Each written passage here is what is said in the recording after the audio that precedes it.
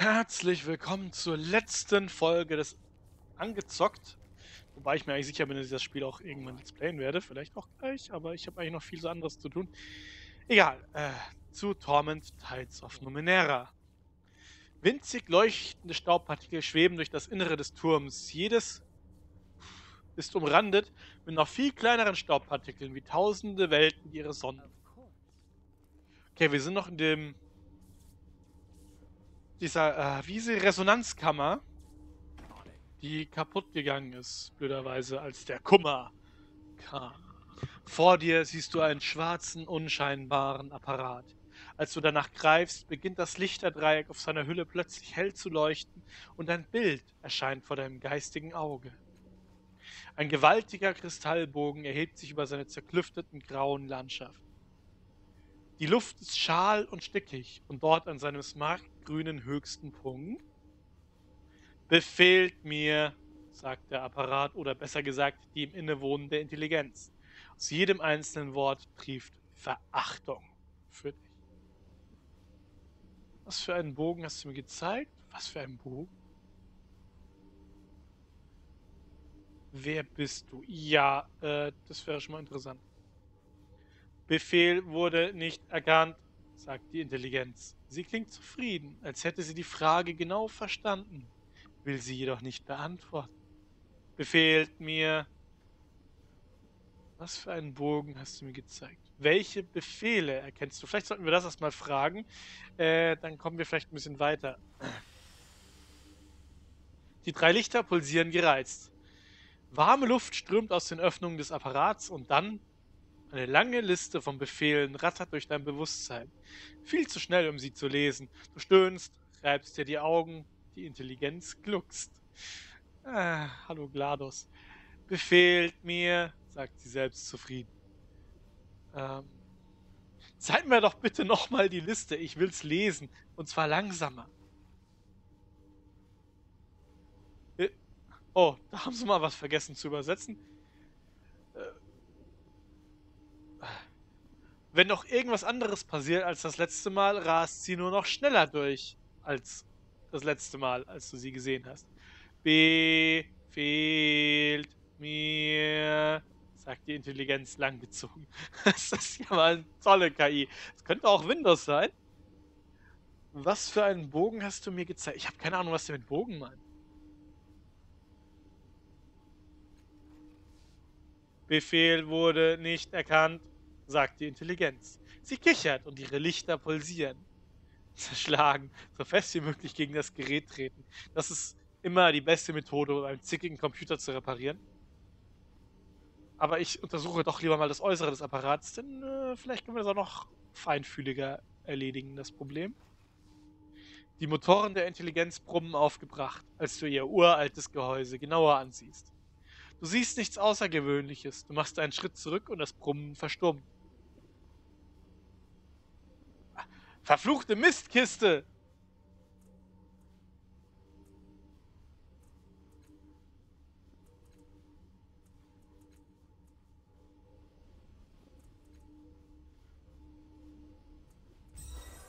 Und schreiend stürzt sich unser Kamerad gerade auf die Maschine. Die Lichter der Intelligenz blinken panisch, bevor du mit dem Apparat einen festen Tritt versetzt. Etwas im Apparat macht Knacks. Zellensperre beschädigt, stöhnt die Intelligenz. Das Lichterdreieck scheint dich mit blendender Intensität an. Alle Gefangenen verloren. Schließe Logum wo. Neben der von deinem Fuß produzierten Delle öffnet sich eine Luke und die Lichter erlöschen, als du einen Teil aus dem rauchenden Innern des Apparats fischt. Wir haben die Sichtscherbe gekriegt. Willst du jede einzelne Maschine hier drin zerlegen? meint Alligan. Ja, Entschuldigung, aber, aber es hat doch funktioniert. Vorerst. Das Ding war ziemlich widerspenstig. Die flexiblen Tuben, die an dieser Maschine befestigt sind, scheinen erst später hinzugefügt zu sein. Jemand hat das Gerät zusammengeflickt. Seine Funktion ist aber unklar.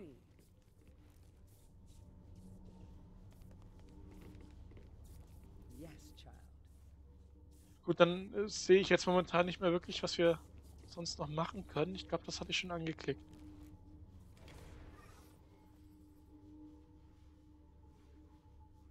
Ah. Ein Sonnenstrahl fällt durch das Loch im Dach auf die kaputte Resonanzkammer. Kaum zu glauben, dass du durch den him blauen Himmel auf die Kuppel gefallen und diese feine Maschine mit dem Gewicht deines Körpers so zerstört hast. Kaum zu glauben, dass du noch am Leben Über dem zersprungenen, halbtransparenten Kristall des Sarkophags in der Mitte des Apparats hängen vier mechanische Arme.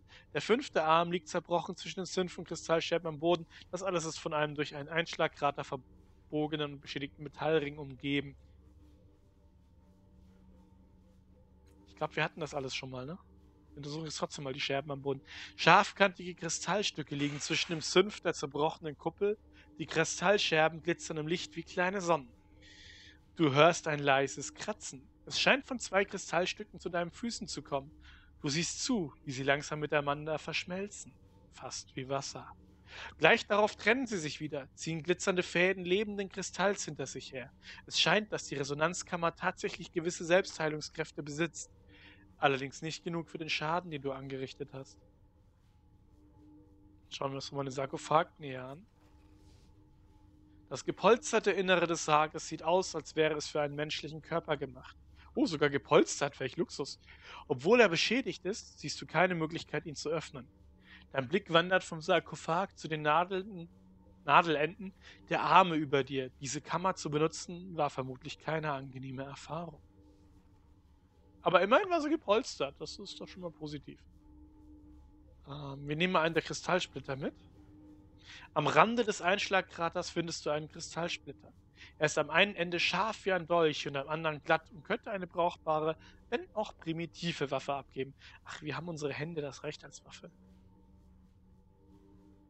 Ja, aber vielleicht finden wir noch ein paar weitere Splitter.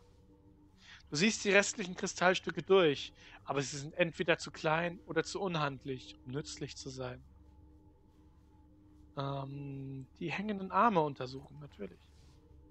Kabel führen von Maschinen an den Wänden der Kuppel zum Sockel der hängenden Arme, die in langen, auf die zersprungene, sarggleiche Kammer in der Mitte der Plattform gerichteten Nadeln enden. An den Sockeln der Arme leuchten schwach edelsteinartige Lichter. Hm. Naja, dann schauen wir halt uns noch einen Metallring an, viel mehr können wir nicht mehr machen. Immer, wenn du den Ring betrittst, fühlst du einen Hauch von Widerstand. Jetzt, wo du darauf achtest, hörst du das Echo deines Atems in deinen Ohren, als stündest du im Innern einer Glaskuppel. Das Gefühl verschwindet, sobald du den Ring verlässt. Hier scheint eine Art Energiefeld oder so zu sein, das offensichtlich ein, äh, vielleicht ein Schutzschild oder sowas um diesen Ring aufbaut. Deswegen spüren wir vielleicht einen Widerstand. Okay. Viel mehr können wir, glaube ich, hier nicht machen, ne? Ah, Tabulator war das. Zerbrochene Stücke des Kuppeldaches liegen auf dem Boden verteilt. Sie scheinen aus durchsichtigen Sümpf hergestellt zu sein. Oh, hier kann man noch was plündern. Sehr schön, die Hotspots sich anzeigen zu lassen. Das war früher unangenehm, ging aber, glaube ich, sogar schon in Baldur's Gate 1 mit einer bestimmten Taste. Aber Hotspots zu suchen, fand ich mal grauen. Dominante Gezeiten hindern dich nicht daran, jeden beliebigen Weg einzuschlagen oder alle Optionen am Gespräch zu verwenden. Doch sie können auf subtile Weise beeinflussen, wie andere auftreten. Also scheint das tatsächlich dasselbe System zu sein wie im Pro Project Reality. Pillars of Eternity. Ähm, was ich prinzipiell ziemlich cool fand, dieses System, das wirklich selbst kleine, schon Begrüßungen teilweise Einfluss auf deine Ruf bei bestimmten Fraktionen haben konnten, fand ich ziemlich cool damals in äh, Planescape Torment. Pillars of Eternity. äh, ich bin ein bisschen neben der Spur. Lachen diese Kristalle? Geil ist das. Oh, hört mal die Musik an. Schönes Klavier.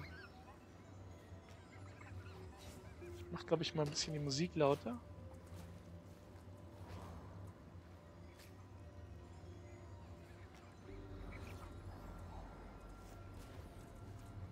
Weil die ist, äh, finde ich, immer schön, wenn die, wenn die richtig gut ist in so einem Spiel, finde ich, trägt gute Musik viel zu einem tollen Atmosphäre und äh, eines Rollenspiels bei.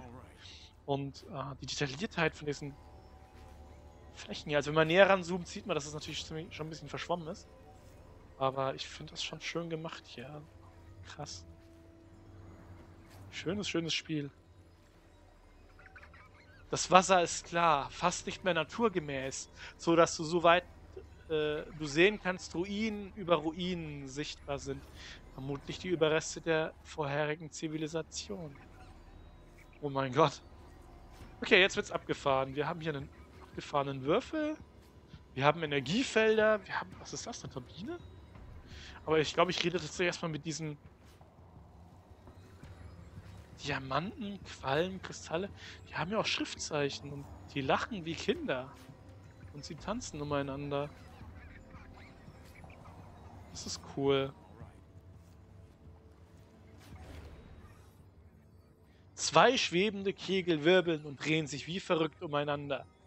Kichern wie Kinder, die man kitzelt. Die Luft um sie herum riecht nach süßem, verbrannten Laub. Was seid ihr? Das ist die erste Frage. Schnelle Finger, einen Kegel berühren, wenn er vorbeikommt. Beobachten, ob es ein Muster gibt. Ich beobachte erstmal. Immer erstmal beobachten, bevor man sich einmischt. Je länger du diese Artefakte anstarrst, desto überzeugter bist du, dass sie sich schneller drehen, wenn ihre Pfade sich kreuzen. Sie scheinen schwach leuchtende Linien nach sich zu ziehen, die sich miteinander verflechten.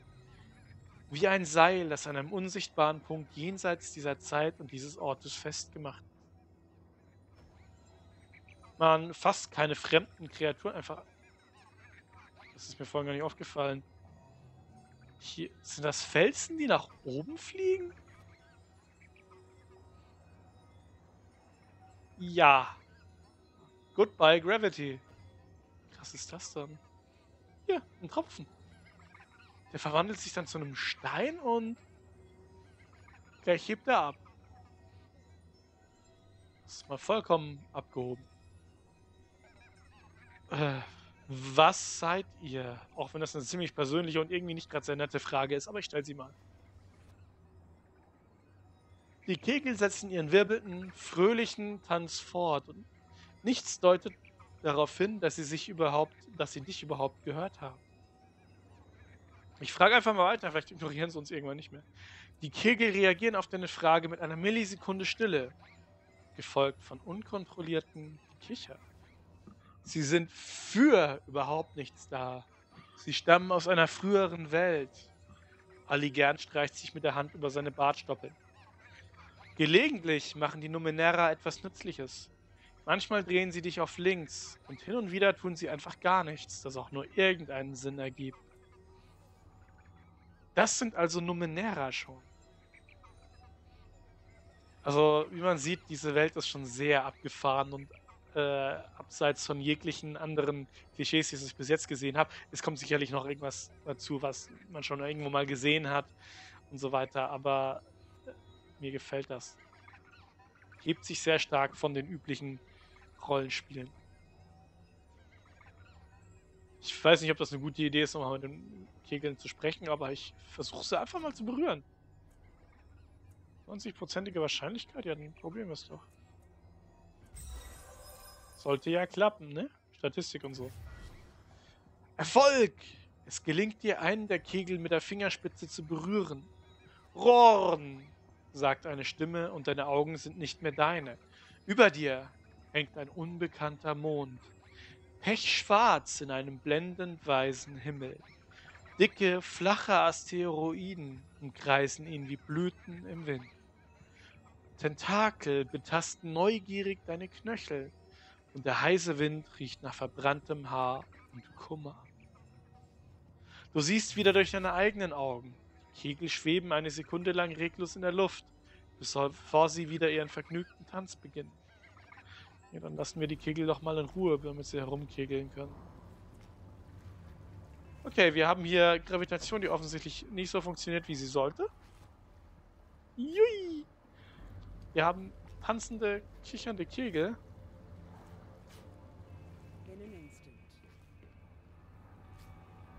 Ähm, jede Menge Ruinen im Wasser. Und noch mehr Hotspots. Gott, da würde ich wirklich viele Hotspots übersehen, wenn ich die Funktion nicht hätte.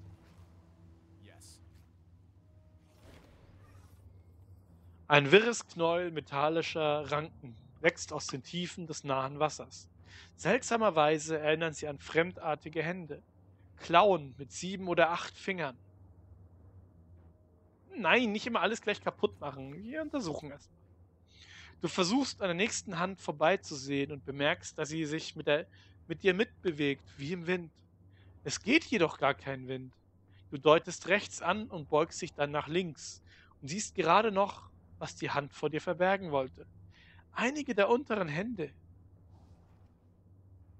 Dein kleines silbernes Objekt, eine Samenhülse an eine andere weiter.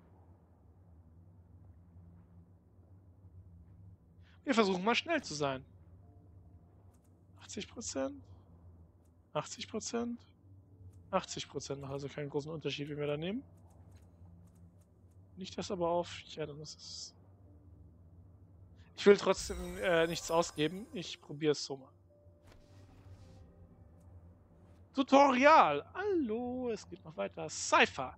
Du hast deinen ersten Cypher gefunden. Cypher sind numenäre Objekte, die eine mächtige Wirkung auslösen können, bevor sie in Stücke zerfallen. Du kannst ohne Nebenwirkung nur eine bestimmte Anzahl an Cypher auf einmal pro Charakter tragen. Oder du erleidest schwere Symptome der Chiffritis. Wie geil ist das denn? Ich krieg also eine Krankheit, was auch immer die Chiffritis genau ist, wenn ich zu viele Cypher dabei habe. Die Cypher scheinen so eine Art äh, Zauberspruchrollen zu sein.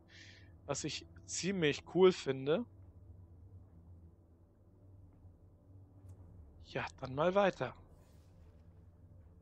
Scheint, als hättest du einen Feind gewonnen. Gratuliere, gratuliere, Liebes. Ich gehe einfach mal weg. Ein Feind? Wieso? Ich glaube, die wahrscheinlich mochten die es nicht, dass wir ihnen gerade die Cypher weggenommen haben. Hallo Inventar, da wollte ich nämlich gerade mal reinschauen. Im Inventar kannst du Gegenstände anzeigen, ausrüsten und verteilen. Es gibt hier verschiedene Bereiche. Der erste Bereich ist Ausrüstung. Er enthält alle Gegenstände, die der aktuelle Charakter ausgerüstet hat. Zur Ausrüstung gehören Nah- und Fernkampfwaffen, Schilde, Rüstung, Schmuckgegenstände wie Ringe oder Amulette sowie gebundene Gegenstände. Der Rucksack enthält die Gegenstände, die der aktuelle Charakter bei sich trägt. Du kannst sie ausrüsten, untersuchen oder weitergeben. Quest-Gegenstände sind Gegenstände, die für Quests benötigt werden. Sie können nicht abgelegt oder verkauft werden. Du musst dir also keine Gedanken darüber machen, dass dir ein Quest-Gegenstand abhanden kommen könnte. Wuhu, Luxus. Der letzte Bereich zeigt die Cypher, die du bei dir trägst und dein Cypher-Level. Die blauen Cypher in deinen inneren Ringen können problemlos getragen werden. Die orangenen Cypher im äußeren Ring übersteigen dein Cypher-Limit und wirken sich negativ aus, solange du sie trägst. Du kannst sie benutzen, verkaufen, ablegen oder einem Begleiter übergeben, um wieder unter dein Cypher-Limit zu kommen. Okay, das hier ist unser Cypher-Limit. Wir können derzeit drei tragen. Das ist unser Rucksack. Ich hoffe, der wird noch größer, weil das ist bis jetzt ziemlich klein, kleiner als im Baldur's Gate. Wir können unseren Charakter schwindlig machen. Haben bis jetzt nur den Willen gewebtes Kleidungsstück hat drei Widerstand und ist nur verwendbar von uns. Als äh, einzige Waffe haben wir bis jetzt die kristalline Scherbe. Hirnrausch, halt drei Punkte. Sichtscherbe ist eine Kuriosität. Die Glasscherbe zeigt das Bild von drei merkwürdig gekleideten Kindern auf einem Feld. Eine Sequenz, in der sie ein einfaches Ballspiel spielen, wird wiederholt. Nach wiederholten Sichtungen bemerkst du ein kleines Kind, das weiter weg auf dem Feld steht. Dieses vierte Kind schaut dich direkt an. Seine großen Augen sind voller Furcht. Nein, ich will den Gegenstand nicht fallen lassen. Muss ESC, ESC drücken, um das geht. Okay, äh, ich muss ehrlich sagen, ich bin am Anfang etwas überfordert und verwirrt mit diesem Inventar. Okay, hier haben wir unsere anderen Charaktere. Statuseffekte positiv, negativ Status haben wir nichts. Hier steht unsere Rüstung, Widerstand, Ausweichen und Willenskraft. Erhöht deine Chance, die Effekte von Esoterieangriffen abzuschütteln. Ausweichen erhöht deine Chance, Waffenangriffen auszuweichen. Und Rüstung ist natürlich physikalischer Schaden und Widerstand chemisch, mental, Energie, transdimensionalen Schaden. Das ist alles soweit bekannt mit den Resistenzen. Das ist Rollenspielstandard. Hier ist unser Erfahrungsbalken. Wir haben 44 Erfahrung und brauchen 180, um aufzusteigen. Das dauert eine ganze Weile in dem Spiel, wenn ich das so richtig sehe. Wir haben gerade zwei Erfahrungspunkte oder so bekommen für diese paar Aktionen, die wir gemacht haben. Gesundheit ist 20 und äh, hier unsere Aufwandspunkte. Äh, Ich frage mich, wie ich die wieder auffüllen kann. Das würde mich interessieren. Vorteil symbolisiert ein eingeborenes Talent für einen bestimmten Wert. Jeder Vorteilspunkt reduziert die Kosten für das Aktivieren einer Fähigkeit bzw. das Einsetzen von Anstrengungen um einen Punkt. Dies kann dazu führen, dass gewisse Fähigkeiten bzw. Anstrengungsstufen ohne Kosten eingesetzt werden können, was natürlich cool ist. Derzeit kann ich maximalen Aufwand, also Challenge 2 machen. Hier ist der Charakterbuch. Das sieht sehr grau aus. Das Menü halt ein bisschen Science-Fiction-mäßig getrimmt. Ich finde es jetzt aber nicht äh, ultra unübersichtlich und auch nicht ultra übersichtlich. Ich finde es eher so mittelmäßig, das hier. Das ist okay, äh, nicht wirklich was, was besonders ist, auch nicht was schlecht ist. Vom Design her, ich denke, es passt erstmal zum Spiel. Es ist halt kein Fantasy. Oh, das Spiel ist ja auch kein Ist das der Monolith aus 2001? Nur mit grüner Neolichtern drin gewebt? Wir hatten ja doch noch mehr. Genau, hier. Plündern. Har, har, Shin, Flinkfußmoos und bereinigte Kraft. Was auch immer das alles bringt, ich nehme es mal mit. Und jetzt will ich wissen, sag mal, Alligern und Kalistege, habt ihr schon immer mal wissen wollen, was passiert, wenn wir einen Monolith anfassen? Über dem Wasser schwebt ein mattschwarzer Obelisk. Seine scharfen, gewölbten Kanten laufen in einer Spitze zusammen, die in der schwachen Brise des Tages mal mehr und mal weniger hell leuchtet. Ich muss kurz vorlehnen, um den Obelisk zu berühren. Ich wusste, dass ich ihn berühren kann. Du streckst die Hand zum Obelisken. Aus dem Inneren des schwarzen Steins wallt trübes, grünes Licht, das dich wie ein wütendes Auge fixiert. Ich kannte mal einen, der hat getan, was du vorhast, bemerkt Ali gern beiläufig. Ein Aeon-Priester, ein Strahl kam von der Spitze dieses Dings und brannte ihm das Gesicht weg. Aber seine Kristallkette gibt seither ein ganz gutes Nachtlicht ab. Aber hey, du wirst schon wissen, was du tust. Kalistege meint nach nur so, so Kopfschütteln so, ach sei still, der arme Priester starb wenigstens beim Versuch, seine Neugier zu befriedigen und irrte nicht ewig in Selbstmitleid versunken die Küste entlang. Tu, was du tun musst, sagt sie zu dir unbeirrt vom tödlichen Blick, den ihr alle gern zuwerft. Aber sei vorsichtig. Also wenn wir uns verbrutzeln, wenn wir das Ding so normalerweise berühren, denke ich mal, wir berühren es erstmal nicht mit der Hand, sondern nehmen die Kristallscherbe. Das hört sich nach einer besseren Idee an. Vorsichtig zielst du mit der Scherbe auf den Obelisken. Ein super heißer Lichtstrahl schießt von seiner Spitze in den Kristall, der in deiner Hand vibriert und warm und grün leuchtet. Yeah, mit Animation. Das ist vollbracht. Das ist schon cool.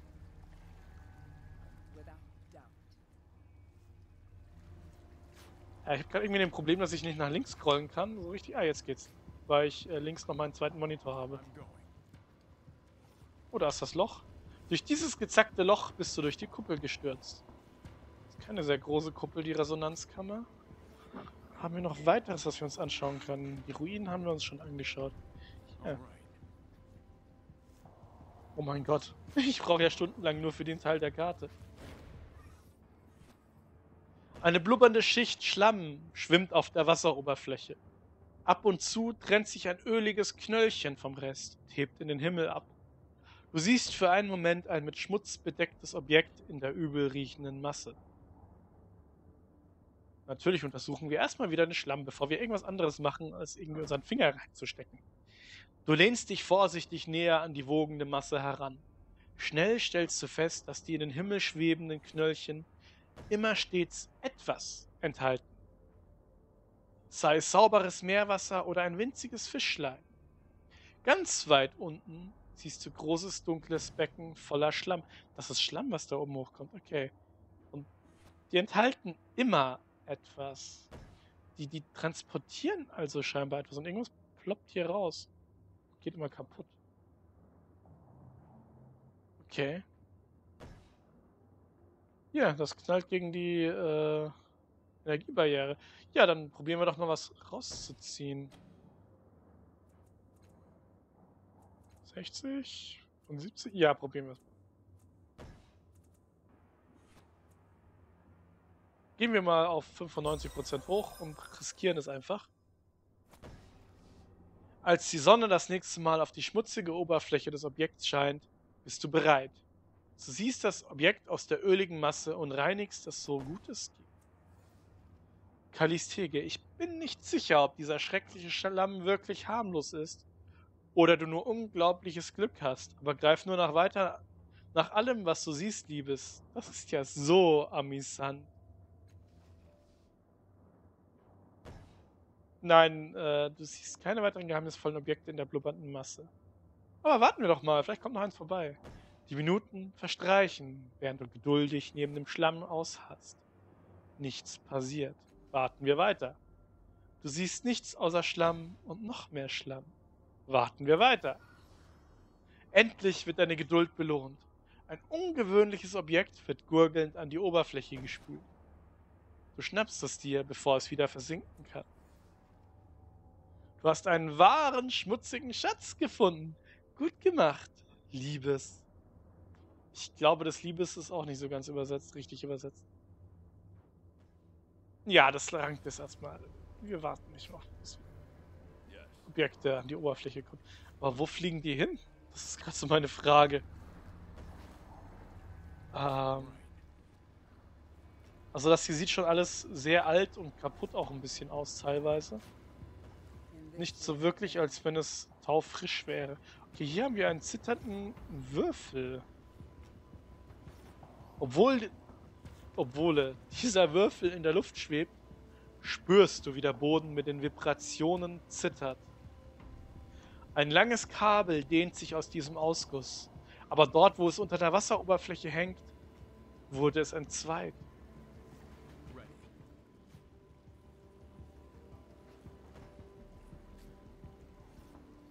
Ein Kabel verbindet diesen Ausguss mit Sammlungsgerät. Die Düse sieht aus, als wäre sie einmal mit einer anderen Maschine verbunden. Okay. Also irgendwie ist hier alles ein bisschen kaputt. Wahrscheinlich haben wir alles kaputt gemacht, wie wir vom Himmel gefallen sind. Ich vermute mal, dies sind ja beiden die gleichen Objekte. Und was haben wir hier noch? Können wir noch interagieren? Oh, nee, können wir gerade nicht. Ich bin mir nicht so sicher, ob ich darüber erfreut bin, dass diese Herren hier ankommen. Will ranzoomen. Crawl. Ihr steigt auf etwas, das die Rückseite des gewaltigen Bauwerks zu sein scheint. Da kommen vier Fremde auf euch zu. Ihr Anführer ist ein drahtiger Mann mit zwei parallel von der Wange bis zur Schulter verlaufenden Narben, links im Gesicht. Er begrüßt euch mit einem freundlichen Lächeln während er von pulsierendem Licht durchzogene graue Handschuhe überstreift. Als er dich ansprechen will, bemerkt er Kalistege. Wir lesen mal wieder Gedanken. Er ist der Stern oder er kam aus ihm heraus. Aber was hat Cal damit zu tun? Okay, die kennen sich also, das ist schon mal gut zu wissen. Cal, ich dachte, du hättest dich vom Durchkämmen des Riffs losgesagt. Hast du was Leckeres gefunden? Er mustert dich und Ellie gern. Kalis. Die Antwort ach, kommt so prompt. Kleinkram, Koro. Nichts, was dich interessieren würde. Glaub mir. Da irgendwie raus. Wo, wo ploppt das eigentlich raus, das Ständen? Ich lenk ab. Sie spricht ruhig. Auch ist, aber auch ist sie angespannt. Was hat er hier zu suchen? Er hat etwas in der Hinterhand, das weiß ich. Und Okay, wir wissen also, es gibt irgendeinen Konflikt zwischen den beiden. Das ist schon mal schlecht. Wir könnten in eine Krise geraten. Ist ja nicht so, als gäbe es schon genug Krisen. Wollen wir sie gleich darauf ansprechen? Oder wollen wir uns um Chore kümmern? Oder einfach mal dreist fragen, ob wir nicht einfach unsere Ruhe haben und vorbeikommen. Wir könnten sie auch einfach machen lassen. Ich glaube, ich warte erstmal ab, was passiert. Ich lasse sie erstmal weiter reden. Seine Hand ballt sich zur Faust. Insbesondere frage ich mich, ob du zufällig eine Sternschnuppe gesehen hast, die hier vor kurzem niedergegangen ist. Ich habe nichts dergleichen gesehen, liebster Coral, sagt sie schmallippig. Deine Freunde vielleicht, er wendet sich an dich. Ich kenne das meiste Gesindel, das dieser Tage das Riff ausplündert. Was für eine nette Abwechslung mal ein neues Gesicht zu sehen. Okay, er spricht uns also an.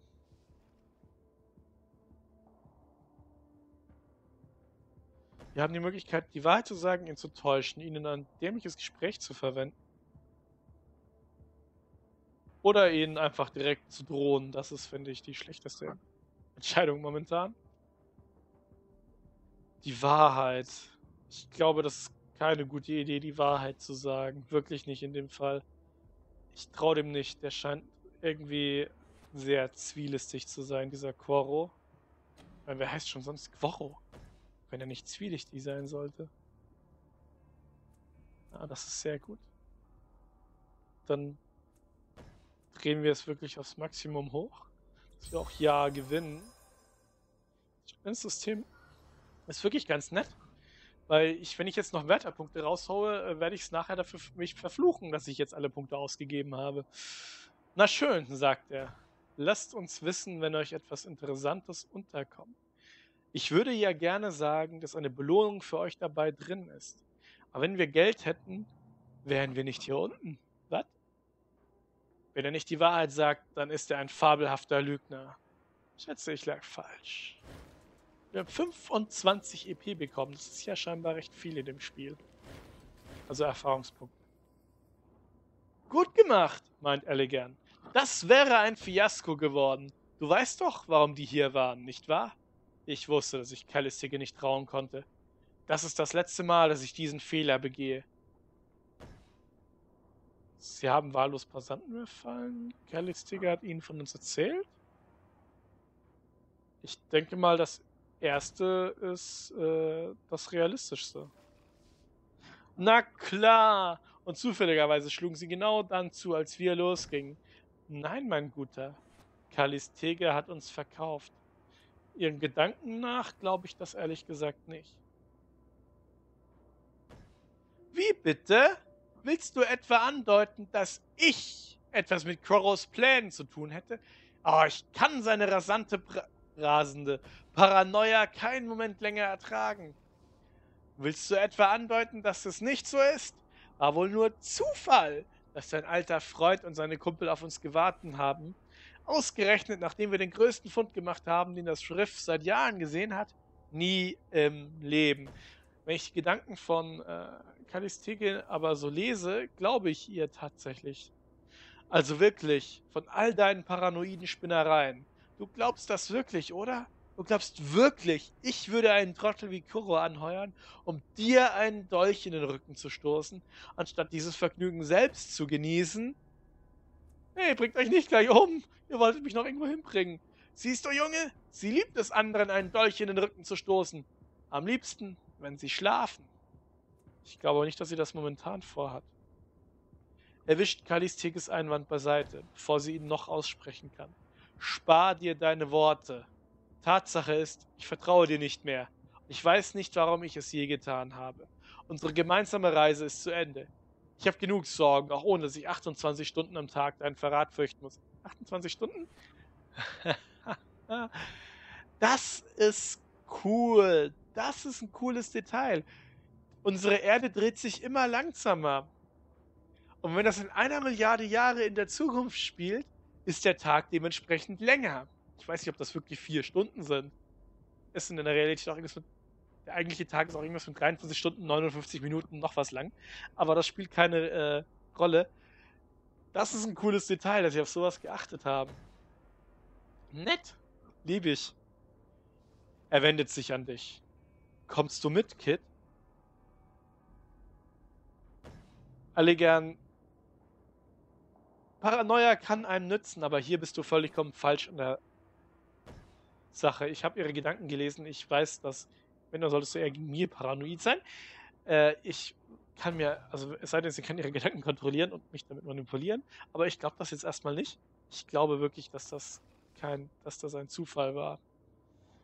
Er schnaubt verbittert. Du hast ja keine Ahnung, wozu sie fähig ist. Nicht die geringste. Sie ist ein verräterisches Skizstück. Ich sage ich dir. Du bist wirklich unausstehlich elegant schmeißt ihm Kalistege in Worten an den Kopf.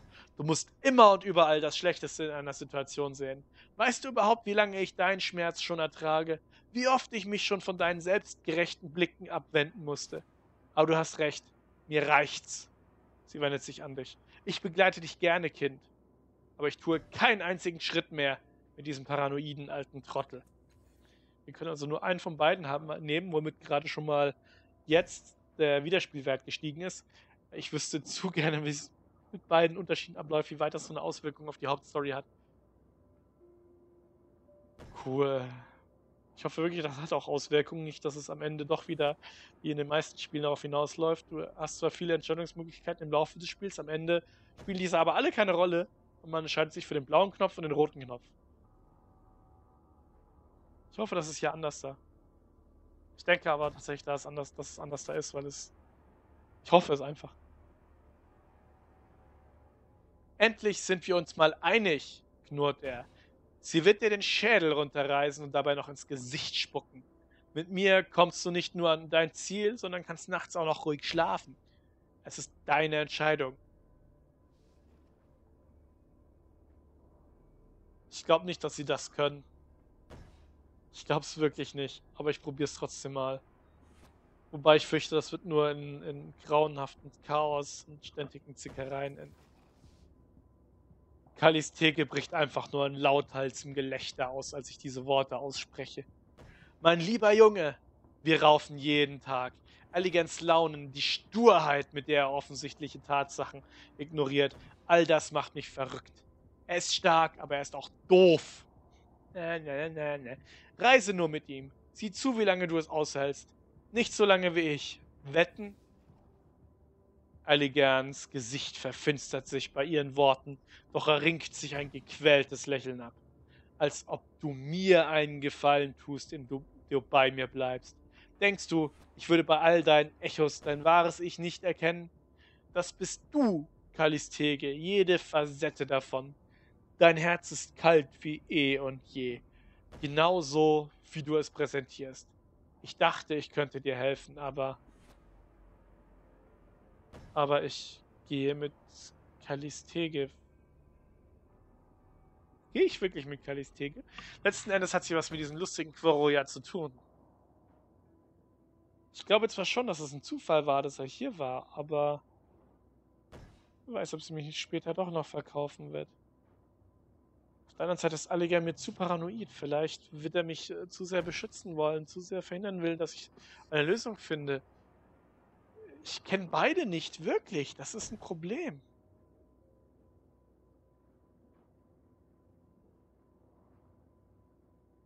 Alligern ist mir geradezu irrational. Ich gehe mit Kalistege. Ich weiß, dass sie in diesem Fall zumindest recht hatte. Aber ich kann mich halt auch täuschen. Verdammter Mist.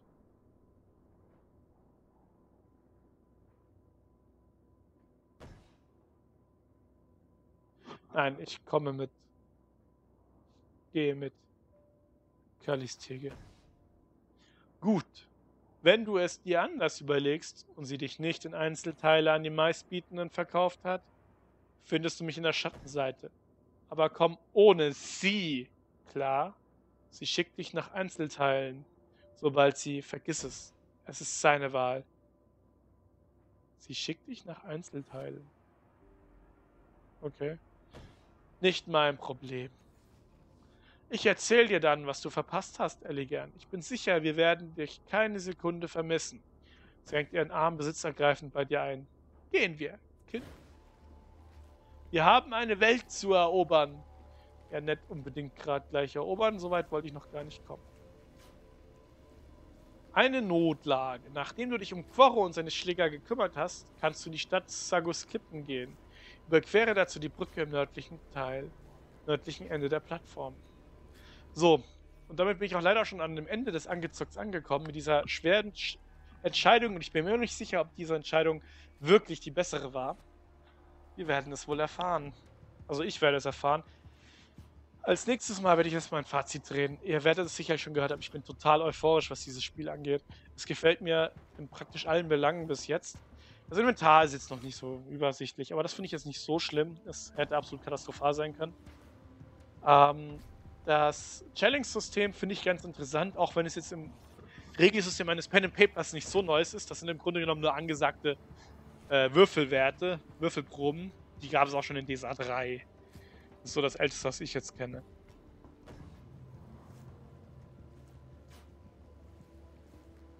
Ähm, Ja, ansonsten mir gefällt der Stil der Grafik, mir gefällt die Welt. Es sieht, es sieht auch vom Stil, von der Grafik her aus sehr nach, nach dem alten Planescape aus.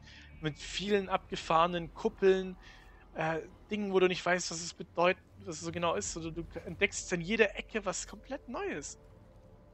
Hier, ich, ich könnte hier noch sicherlich noch eine Stunde verbringen, allein auf dieser Karte. ähm, das ist, die Texte sind klasse geschrieben, wenn auch die Übersetzung nicht gut ist. Das ist der große Kritikpunkt bis jetzt. Über die Kämpfe kann ich leider noch nicht viel sagen, außer dass es nicht viele gibt. okay, die, das eure Kommentare ab, wenn ich zu lang rumstehe. Um, ähm, aber die Kämpfe werden wohl auch keine große Rolle in diesem Spiel spielen. Und das ist der Punkt. Dieses Spiel äh, unterscheidet sich also auch wieder grundlegend, genau wie sein geistiger Vorgänger, von den üblichen Konventionen eines Rollenspiels. Nicht nur, dass es vollkommen auf Oldschool getrimmt ist, soweit ich das bis jetzt sehen kann. Was sicherlich schon viele äh, nicht gefallen wird. Ich kann, also auch die 2D-Grafik wird sicherlich vielen nicht gefallen. Auch wenn ich sie echt hübsch finde, wenn man hier so ranzoomt. Egal. Ähm, das Spiel ist nicht für jeden gedacht. Es ist überhaupt nicht. Es ist, äh, es ist etwas, was komplett von den üblichen Konven Rollenspielen sich unterscheidet. Und das ist das, was mir aber auch so gefällt. Denn ich will nicht immer äh, die Welt retten mit den üblichen Elfen, auch wenn mir das auch gefällt. Aber mal was Neues, ist einfach toll und dieser Soundtrack ist auch wunderbar. Es ist kreativ, es ist was Neues. Es macht einfach Spaß, hier wieder reinzufüllen. Bei, meinen, bei mir ist natürlich auch verdammt viel Nostalgie dabei, weil ich diese 2D-Rollenspiele halt einfach schon immer geliebt habe, immer als Kind schon gespielt habe und ich verdammt viele Erinnerungen an sie habe. Das äh, kann keine objektive Meinung sein. Es gibt keine objektive Meinung bei Rollenspielen. Ich würde nach diesen ersten zwei Stunden sagen, uneingeschränkte Kaufempfehlung für jeden, der kein Problem mit hat, dass ein Spiel primär aus Lesen besteht, Kämpfe ein Sekundärs sind und die Grafik nicht unbedingt das Neueste ist, aber einen eigenen Stil hat, eine gut geschriebene Story, soweit ich es bis jetzt beurteilen kann, und eine kreative Welt aufweist, die man so nicht wirklich gesehen hat bis jetzt. Und sich eben wirklich traut, was Neues zu machen. Ich bereue es nicht, so relativ früh ein Spiel gekauft zu haben und das ist etwas, was in den letzten Jahren echt selten passiert ist, dass ich überhaupt mal ein Spiel so neu, so kurz nach dem Release gekauft habe.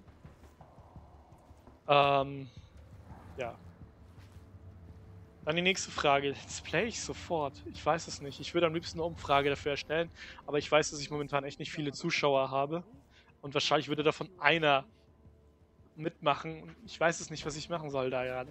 Ich hätte jetzt momentan mit Graw, das haben wir praktisch schon komplett aufgenommen. Das muss ich nur noch hochverarbeiten und hochladen, aber das ist halt auch viel Arbeit. Ich habe noch äh, Schicksalsklinge, The Witcher und Dead Space gerade erst angefangen. Das wären dann fünf Projekte und ich lade halt nicht so viel hoch. Hm. Und ich fange im äh, Ende März meine Bachelorarbeit an. Das wird erstmal wieder etwas entspannter jetzt, bevor ich die Klausurenphase habe, in der ich gerade mittendrin stecke möchte das eigentlich, wenn es nach mir ging, würde ich echt gleich weiter aufnehmen. Ich weiß nicht, was ich da machen soll. Also, ich werde die Umfrage wahrscheinlich einfach starten. Ich mach's einfach. Okay, wir sehen uns dann und ich hoffe, euch gefällt es. Bis dann und tschüss. Ups.